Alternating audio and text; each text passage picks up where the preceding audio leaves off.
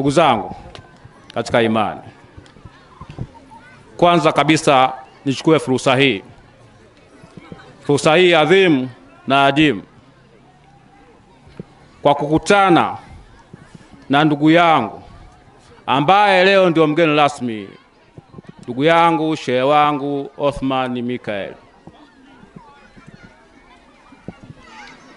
Shehe wangu Othman Mikael, nitumie nafasi hii kukushukuru pamoja na jopo lako na kukuombea kwa Mwenyezi Mungu pamoja na jopo lako, kwani Waislamu wanasema ahiba linnas matuhibu nafsika. Hakika hadithi hii au aya hii umeitendea haki. Huku ni nyumbani kwenu na unaalikwa maeneo mengi sana, lakini umeona Kwelushega, Gare, Kwemashai kwa ujumla uitendee haki. Nakushukuru sana wema huu, na naamini kabisa Waswahili wanasema imani huzaa imani. Imani yako tumeiona sisi, hatunaweza kukulipa, ila Mwenyezi Mungu mwenyewe ndio atakayejua cha kukulipa, pamoja na jopo lako ulioongozana nalo, na tunakuombea maisha marefu, tunakuombea siha njema. Mungu akujalie umri mrefu ili uweze kuyatenda haya. Hakika mwenye macho haambiwi tazama. Ninayo furaha kubwa sana, hata nashindwa nielezee nini nashindwa niendelee nini, shehe wangu, kwa sababu ni wachache sana. Wakipata mafanikio mara nyingi wanaishia huko huko mjini, na mafanikio haya wanaacha huko huko mjini, wanasema ah, mimi mmepatia hela mjini bwana, huku nyumbani kuna nini? Lakini shehe wangu, wallahi umekumbuka kurudi nyumbani. Tuendelee kukuombea, Mwenyezi Mungu akujaze jazaa njema. Ndugu zangu, baada ya kuyasema hayo mimi nashindwa nielezee nini. Mimi sio ustazi, sio shekhe, ila ni mwanasiasa, na ndio maana katibu wangu alivyosoma alivyosoma ile risala, basi nikajua hapa ndio mahali pake, kwa sababu ukija ukisema kwamba uingie kwenye anga za watu hapa, Dimosa amepiga vitu hapa. Kwa hiyo mimi sitaki niwavuruge nataka hii vitu bado vibaki kichwani kwenu, vimeingia sikio la kulia, visitoke kwenye sikio la kushoto. Nawaomba sana, ni mafunzo makubwa mno ambayo ameyatamka hapa. Wallahi mimi sina uwezo nayo hayo, na uzuri wenyewe yeye bwana ni mwalimu, ticha wa maticha, si ndio? Basi inshallah ndugu zangu, pia nichukue nafasi hii ni kweli nimealikwa kwa muda mrefu sana, lakini sikuweza kuhudhuria kwa sababu ambazo mnazijua nyinyi kwamba mimi ni mtumishi wa wote. Kwa hiyo unakuta pale ninapoalikwa basi na kukosa muda hata wa kufika. Lakini jana jana, nadhani ilikuwa jana usiku, diwani wangu akaniambia, bwana, yale maulidi ya Kwelushega ni kesho, lakini pia kuna shehe wangu mmoja Shehe Isa aliniambia wakati upo Dodoma, bwana, kuna maulidi tarehe fulani. Basi nikamwambia unikumbushe, kama nitapata muda basi nitafika. Lakini mpaka jana ratiba zangu zilikuwa tight sana, na hata hivyo mnavyoniona hapa, nikimaliza hadhara hii basi nikiguna njia naelekea Dodoma, sababu kesho asubuhi, Mungu akipenda, inshallah natakiwa niripoti ofisini pale bungeni. Basi baada ya kuona sasa ratiba hii na bana, nikasema mimi sitaondoka, lazima nihudhurie kwenye hadhara ile. Ndugu zangu, mashehe wangu, mgeni rasmi, nakushukuru sana. Ndugu zangu, nadhani amesoma limesoma risala hapa, sitaki niende huko mbali mbali kabisa huko, ila naomba nijikite kwenye risala. Risala hii naamini mgeni rasmi, na wewe umesikia jana. Nadhani naamini kabisa maneno ni haya haya. Basi mimi niombe tu, kwa kuwa kuna swala kubwa sana la umeme hapa, mimi kama mtumishi wenu naamini, Mheshimiwa Diwani, kuna watu walikuja hapa na wakapima eneo hili, bado kuweka vile vigingi tu. Ni imani yangu kwa dua zenu na baraka za mtume Muhammad sallallahu alaihi wasallam. Naamini swala hili litatekelezeka muda sio mrefu. Hata leo asubuhi kuwa kama saa nne saa nne hivi, kuna watu wanaishi kule Makanka kule Kireti, walikuja ofisini kwangu, kaniambia, mheshimiwa mbunge, tumekuja kwa ajili ya swala zima la umeme. Tumekaa muda mrefu sana hatupati umeme, lakini wenzangu wote maeneo yote ambayo yanatuzunguka yana umeme, bado sisi. Kawaambia, ndugu zangu, mimi mbunge wenu, mimi mtumishi wenu, huwa mara nyingi sina maneno mengi. Naomba tumpigie meneja wa TANESCO hapa hapa atupe majibu, mkiwa nyinyi mnasikia, kwa sababu swala hilo la umeme Makanka na maeneo mengine ya Gare kwa Mashai nishalimaliza, bado utekelezaji tu. Basi nikampigia meneja wa TANESCO ndugu Kasim, meneja akapokea simu, nikamwambia hali halisi ilivyo. Nikamwambia meneja, sisi ni wanasiasa, lakini pamoja kwamba ni wanasiasa, lakini tuna dhima kubwa sana kwa Mwenyezi Mungu. Tumeshawaahidi watu umeme maeneo mbalimbali, lakini sasa hivi hapa nilipo nina watu wa sehemu moja wanaita Kileti nani kule Makanka lakini pia nikitoka hapa naenda kwenye maulidi sehemu moja anaita kwa Lushega. Wewe ulienda pale, vijana wako uliwatuma wakaenda kwa Lushega, maeneo ya Handei na maeneo mengine Kilole na sehemu nyingine, ukanipa majibu kwamba bwana, hilo swala tushamaliza, ebaki baki tu kupeleka nguzo, kuweka mambo zile na nguzo. Hebu niambie swala hili limefikia wapi? Bwana yule alinijibu kama ifuatavyo, akaniambia swala sasa hivi ambalo limebaki ambalo linachelewesha ni swala la nguzo, kwa sababu kuna watu au mfumo unasema kuletwe nguzo za chuma. Hilo mpaka sasa hivi kuna mvutano, lakini naamini mvutano huo unakaribia kuisha, hata mwezi hautaisha, na maana nguzo kama ni za chuma basi itaanza kusambazwa, kama za za nani za miti kama kawaida, basi nazo zitasambazwa. Basi nikawa nimemwelewa sana ule bwana, asema kilichokwamisha ni hicho, bado kuna mkanganyiko. Lakini nakumbuka wakati tuko bungeni kulikuwa na sintofahamu hiyo, lakini nakumbuka ilipata ufumbuzi. Sasa sijui imekuwaje mpaka ikafikia tena steji hiyo, kwa sababu sisi mkuu, kama mnafahamu, tunazalisha nguzo wenyewe za miti, tuna miti yetu, mfano Njombe nani Iringa kule ndio nguzo natoka nyingi kule, na maeneo hata ya huku Lushoto, maeneo ya Mazumbai huko, maeneo ya juu juu huko, kuna nguzo za mikaratusi nakatwa, then zinaenda kuhifadhiwa. Lakini akaniambia pia kuna nguzo ambazo zimeshamwagwa pale Mombo, na hizo pia zimechelewesha kwa sababu nguzo zile hazina viwango. Viwango vyake ni kwamba bado hazina dawa ya kutosha. Kwa hiyo mkandarasi ameambiwa arudishe nguzo zile Korogwe zikatritiwe upya then ndio zije ziweze kufanya kazi.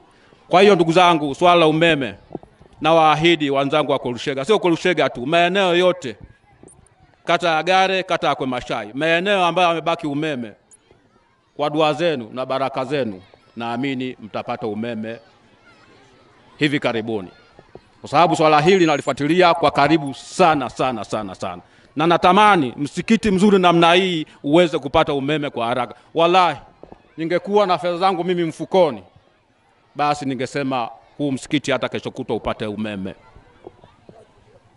lakini kwa kuwa mimi ndio msemaji wenu, basi endeleeni kuniombea dua. Naamini kwamba swala hili litafanikiwa na umeme utapatikana katika msikiti wetu huu, sio msikiti tu, pamoja na eneo la Kolushega na maeneo ya Kilole na maeneo ya Handei na kote kata ya Gari kama walivyoongea na kata ya Kwemashai. Ndugu zangu, mcheza kwao hutunzwa, mcheza kwao hutunzwa. Kwa hiyo mimi nawaahidi kama mtoto wenu nitajitahidi kwa nguvu zangu zote. Sema sasa hivi muda umeenda, lakini ningeweka loudspeaker hapa nikampigia meneja TANESCO angetoa kauli kama nilivyoeleza. Kwa hiyo endeleeni kuniombea, naamini swala hili litakamilika. Lakini sambamba na hilo, tumeambiwa umeme ukifika hapa kuna vitu pia vitaendelea, mfano swala la maji. Nakumbuka mheshimiwa diwani, maji yamefika hapa, lakini maji yale yanafanyiwa hujuma. Lakini pia pamoja na hayo, maji yakishafika sehemu, basi kunakuwa na bodi. Bodi ile bado inayumbayumba kidogo, haiwatendei wananchi wangu haki. Nataka niwaahidi wananchi kwamba bodi ile nitaisimamia, ikiwezekana hata niongee na mkuu wa wilaya, bodi ile ifumuliwe ili tuunde bodi mpya ambayo inaweza kufuatilia maji, ili wananchi waweze kupata maji safi na salama na yenye kutosheleza. Na kuna mradi mwingine ambao nadhani utatekelezeka muda sio mrefu, ambao tayari mkandarasi anao. Kuna mradi unaanza kule Magamba, kama huu mradi ulivyokuja hapa umeanzia Magamba. Kwa hiyo kuna mstari wanaita Magamba, wanaita mstari namba tisa. Kwa hiyo kuna mradi pale, tunaongeza kipenyo cha bomba, kwa kuwa kile kipenyo kinachotoka pale ni bomba la nchi sita. Kwa hiyo tunaongeza mabomba mawili ya nchi nane nane ili kuwe na kiponyo cha nchi kumi na sita. Kuna kisima pale ambacho kinajaa kina ujazo wa lita laki sita na hamsini na matumizi yetu ndani ya eneo hili la Lushoto, Gare, Kwemashai na maeneo mengine matumizi yake ni lita laki moja na hamsini tu kwa siku. Kwa hiyo kisima kile kikijaa, tuna maana kwamba tuna akiba ya lita laki, laki tano. Kwa hiyo tunaongelea miaka arobaini ijayo. Kwa hiyo tumelisi na tutalisisha. Ndugu zangu, tuendelee kuomba dua, lakini niwaahidi kwamba swala la maji kwenye msikiti huu yatafika, na pia nataka nipate hata ile angalau, kwa sababu ndugu zangu Wasambaa wanasema muombeza kaboga utenda kako kashashizeko, si ndio? Ndugu zangu Osman, utawatafsiria ndugu zangu wao uliongeza nao, uliongeza nao. Ya. Basi, nadhani sijajua laini imepita wapi hapa, imepita hapo juu. Naamini kama laini imepita hapo, hata lola moja ya maji haifiki. Ni waahidi kwamba mkishamleta mtaalamu, kwa kuwa huu ni msikiti na unahitaji maji, basi mtafuteni mtaalamu. Hivyo viungo na hiyo bomba inayotakiwa kutoka kwenye bomba kubwa kwenye laini kubwa kuingia msikitini nitatoa mimi. Tuanze na hilo, ndio maana nkasema anayeomba mboga basi akwe awe na ka- kakwake kaliko chacha, si ndio jamani? Kiswahili kigumu. Kiswahili kitafsiri Kisambaa. Kina Maganga ndio anajua nadhani, kwa sababu amekaa na wazee. Basi ndugu zangu, mimi nitawajibika kwa hilo, lakini swala lingine, risala imesema hapa tunatakiwa tupate hata kachuo kidogo hapa.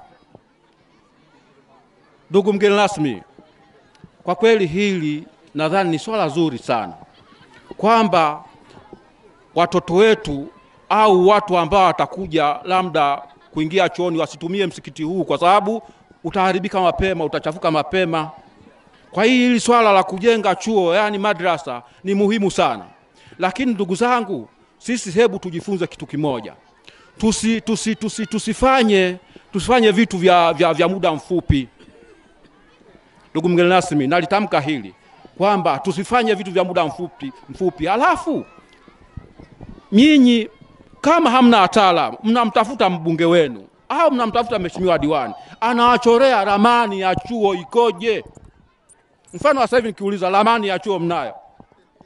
Kakuwa hamna, si ndio? Kwaeni, kaeni, kaeni. Kama hamna mtaalamu, basi mgeni rasmi, nadhani huyu ni mtu ambaye anaona mbali nikiona mbali, ana mission na vision, mtumieni awaletee hata ile ramani. Shaletea ile ramani, basi nadhani hapo sasa tunaweza kuanza sisi wenyewe wakati tunawasubiri. Maana ndio maana nikasema hapa tuna mtoto wetu wa nyumbani, tuna ndugu yetu wa nyumbani, na ndio maana nimefurahi sana kumkuta leo hapa.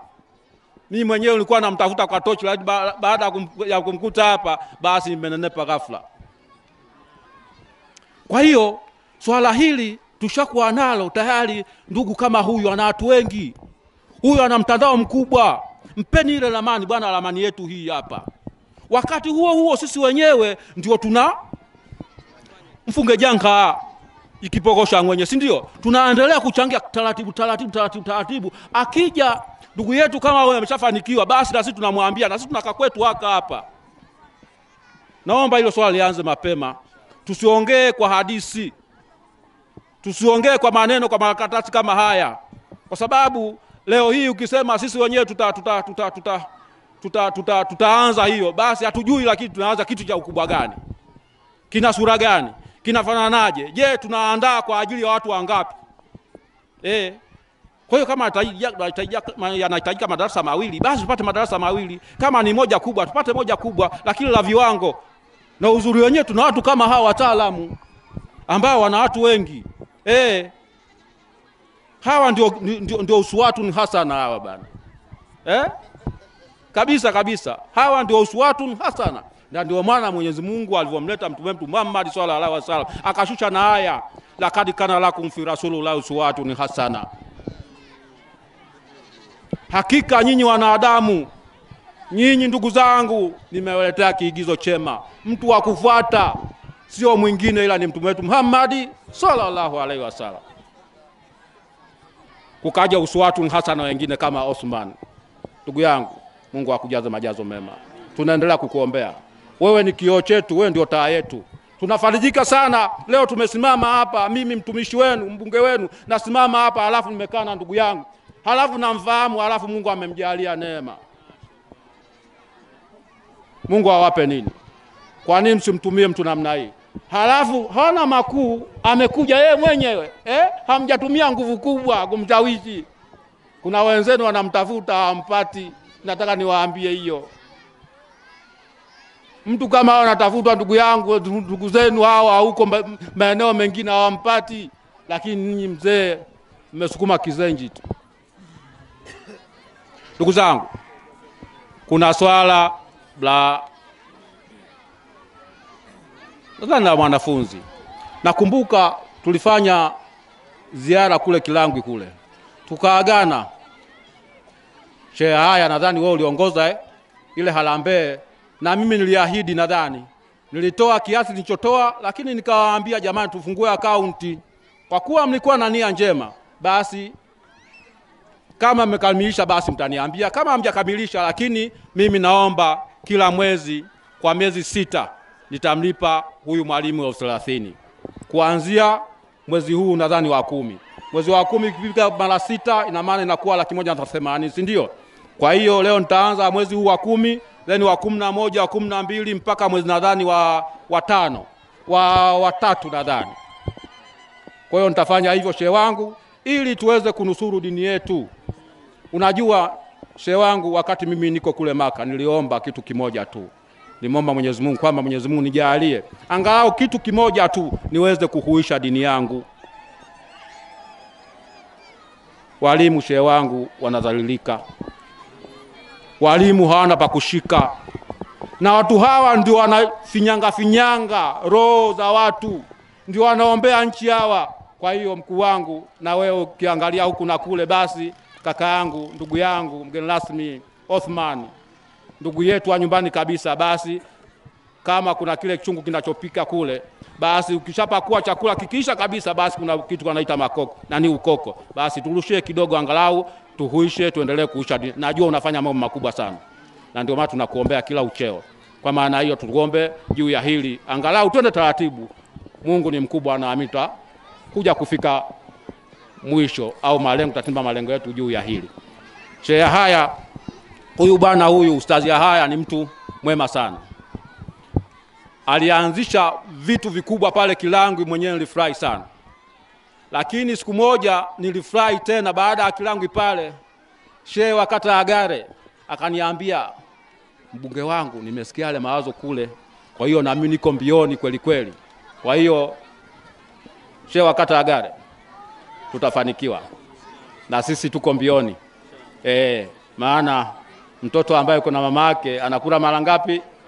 Mara mbili. Ndugu zangu, baada ya kusema hayo, niwashukuru sana sana sana sana. Ngoja nisiwe msemaji kwa sababu muda sio rafiki, na mgeni rasmi nadhani amechoka, maana takia jana yuko hapa. Mimi niseme hadha, salamu alaikum warahmatullahi wabarakatuh.